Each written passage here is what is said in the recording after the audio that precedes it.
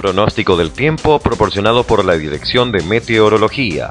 Para todo el territorio nacional se espera un día fresco a cálido con máximas que estarían entre los 19 y los 23 grados. Para Asunción se espera una máxima de 19 grados.